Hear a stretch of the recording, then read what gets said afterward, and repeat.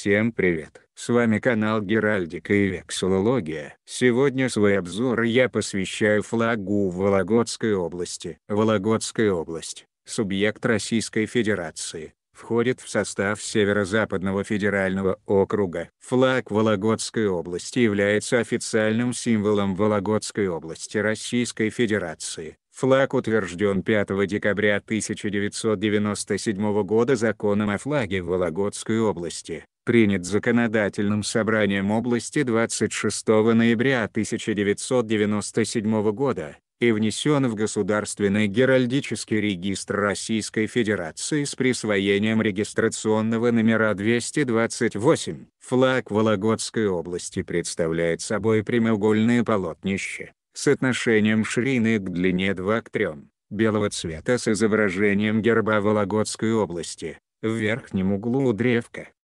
В геральдическом щите с червленым, красным, полем выходящая из серебряных облаков десница, правая рука, в золотом одеянии, держащая золотую, украшенную драгоценными камнями державу, и позади нее серебряный меч с золотым эфесом, положенный в перевесь, во главе щита, золотая российская императорская корона, как она изображалась в губернских гербах, с развивающимися лазоревыми, синими, голубыми, лентами. Вдоль стороны полотнища, противоположной древку, расположена красная полоса шириной в одну пятую длины полотнища. Расцветка и композиция флага, а также элементы герба Вологодской области имеют официальное толкование. Красный фон отождествляется с властью и мужеством, серебряный – с чистотой и благородством, золотой – с могуществом и богатством. Рука с мечом символизирует правосудие и защиту,